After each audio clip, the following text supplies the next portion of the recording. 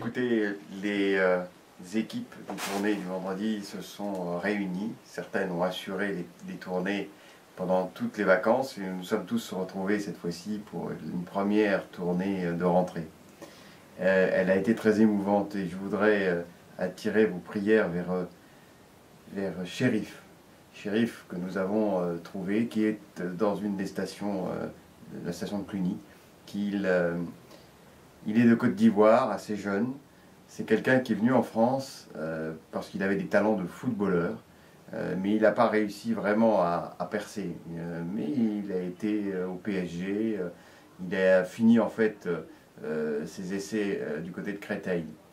Et, puis un jour, il est tombé sur une femme originaire de Bretagne, il a eu des enfants, il a tout laissé, émerveillé par ses enfants et vivant de petits jobs.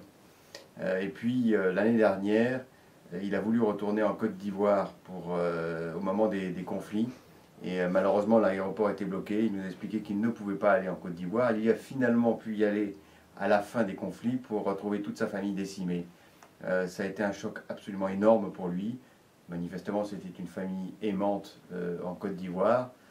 et évoquant ses, décès, il a pleuré sur le banc du métro, qui nous a, ce qui nous a beaucoup ému. Il est rentré en France et euh, il a tout abandonné. Il a, euh, il a perdu pied euh, complètement. il s'est retrouvé ne voyant plus ses enfants et sa femme, ou de manière très épisodique, et ne trouvant plus de job. il a sombré complètement. grâce à Dieu, il a retrouvé quelques amis charcutiers de différents magasins autour du métro qui le nourrissent assez régulièrement.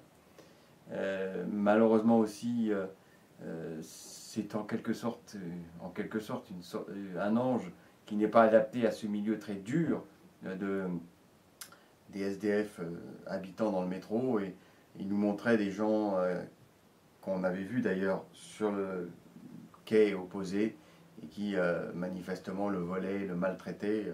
C'est quelqu'un qui ne peut difficilement se, se, défendre mais on a senti une petite lueur dans ses yeux. Il essayait, il voulait réessayer de s'en sortir. Euh, il avait eu des jobs euh, juste après avoir euh, arrêté la tentative football.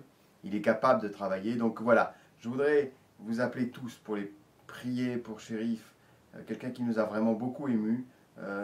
Si vous le voyez, c'est quelqu'un donc originaire de Côte d'Ivoire qui est souvent en ce moment à Cluny. Saluez-le de notre part mais surtout priez pour lui. Euh, il mérite vraiment de, s'en sortir. Euh, il a accepté de porter une médaille euh, de la Vierge, une médaille miraculeuse. Il était tout content. On a prié avec lui, intercédé auprès de la Vierge Marie, qu'elle l'accompagne. Voilà. Et je voudrais juste terminer sur une note un peu, peu positive, simplement pour vous alerter d'un petit film qu'on a fait, qui est sur les archives. Et euh, on a filmé, Baudouin est venu avec nous, c'est la première fois qu'il venait en tournée.